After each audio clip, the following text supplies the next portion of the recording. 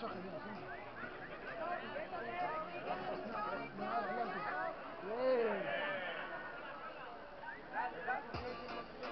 Salto,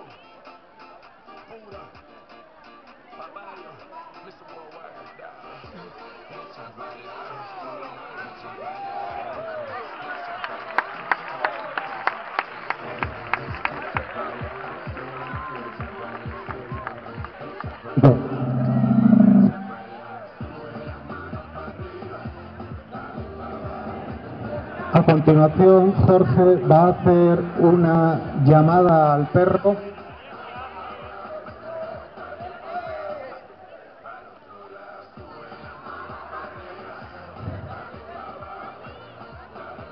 Observarán que eh, al perro se le ha dado un mordedor.